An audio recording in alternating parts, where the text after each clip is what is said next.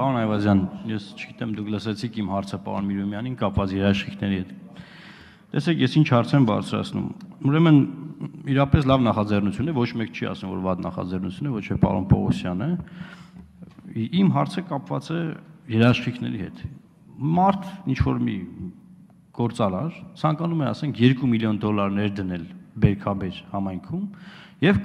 հիմնել այնտեղ, ասենք, պահածոների գործարան Երաշխիքը որն է, որ 2 տարի հետո մենք այս օրենքը չենք փոխելու, ասենք էլ արտոնություն չի լինելու։ Եվ ես առաջարկում էի դրա հետ կապված, որ մենք այստեղ գրենք, որ օրինակ մինչև 2035 թվականը, ես նման առաջարկություն եմ ներկայացրել, ելույթում մանրամասը կանդրադառնամ դրան, մենք այս արտոնությունները պահպանելու ենք։ Այսինքն մենք որպես քաղաքականություն, որպես պետություն, ասում ենք, ես քաղաքականություն ենք վարում այս ոլորտում, որովհետև իրավական կանխատեսելիություն մեր երկրում չկա մեր մոտ ամեն շաբաթ հնարավոր է փոխվեն օրենքներ եւ փոխվում են օրինակը շրջանառության հարկի մասին օրենքը եւ ել չասեմ էլ, այսինքն օրինակները բազմաթիվ են։ Հիմա դուք ինչպես եք վերաբերվում այս խնդրին համաձայն եք, համաձայն չեք, եթե չէ, օրինակ ինչ դեմ փաստարկներ կարող եք բերել։ Ինչին սա կխանգարի, որովհետև նաև ես կանդրադառնամ իմ ելույթում օտարերկրյա ներդրումների մասին օրենքին, որտեղ մենք ունենք նման երաշխիք օտարերկրյա ներդրողների համար։ Ինչու մենք չունենանք մեր տեղական ներդրողների համար, ասենք, կարողա, չգիտեմ, Grand Kenzi-ն ուզում է գնա այնտեղ գործարան կառուցի։ Գարանտիա ունենա, որ առաջիկա 10 տարում, չգիտեմ, ինչքան ժամանակահատվածում մենք այս հարկային արտոնությունները չենք անելու։ Շնորհակալություն։ Պարոն Մարուկյան, ճիշտն ասած, ձեր վերջի գաղափարը շատ հոյակապ էր, առաջին մասը ես այդքան չթվում, վերջին այս շատ լավ կլինի մենք ներդրումների իրականացման գործընթացի մեջ մենք կարողանանք այդպես հստակ մեխանիզմներ տանք, ի՞նչ կապ ունի որտեղը։ Մենք ինչ ենք ասում, ամենայն դեպս այդ ներդրումների իրականացված տնտեսվարման գործընթացի մասով այստեղ այդքան էական, այսպես ասած, արտոնությունների ռեժիմ չկա, ովքեր 2 միլիոն դնում են 99% ավելացված արժեքի հարկի հետ կապված կլինեն, այդ մասով մենք իրար հետ կնայենք։ Շատ ողջունելի է ձեր առաջարկությունը, որ ժամանակի ընթացքում էլ նաև գործում էր, քանի որ մենք ունենք այսօր ներդրումների հետ կապված խնդիրներ, ընդհանրապես գրենք ներդրումների իրականացման պարագայում այս այս ռեժիմներով ինքը կունենա, ասիկն արտոնոթիալ ռեժիմներ, ասիկն 5 տարի կարող ասենք, ասենք ինքը շահութ հարկից կարող է ազատվել, 3 տարի ասենք կարող է եկամտը հարկից ասենք ազատվել իր մենք թեկուզ այդտեղ որոշակի ասել ենք, ասում ենք, եթե դու ստեղծում ես նոր աշխատատեղեր, քո վճարված աշխատավարձի այսքան գումարը դու կարող ես նվազեցնել եկամտը հարկից Ունենք, չէ՞։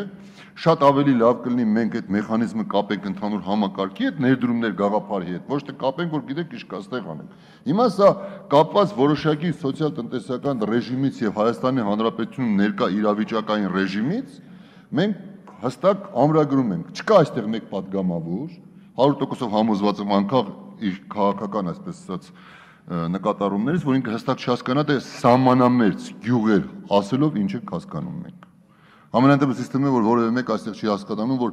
վաղը կառավարության ցանկի մեջ ներառված կլինի Արարատյան դաշտավայրի որևէ մեկ գյուղ, որը սահմանամերձ է, ասենք, ենթադրենք